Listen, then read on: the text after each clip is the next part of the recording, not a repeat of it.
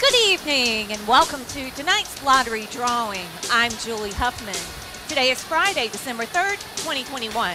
Check the bottom of the screen for today's winning midday numbers. Now, it's pick three, where the first number tonight is four, followed by the number nine, and finally, that's a three. Now pick four. These numbers are coming up. That first one is a four, followed by three. This number is three, and finally, that is a nine. Now it's fireball. Let's fire it up. That number for tonight is a one.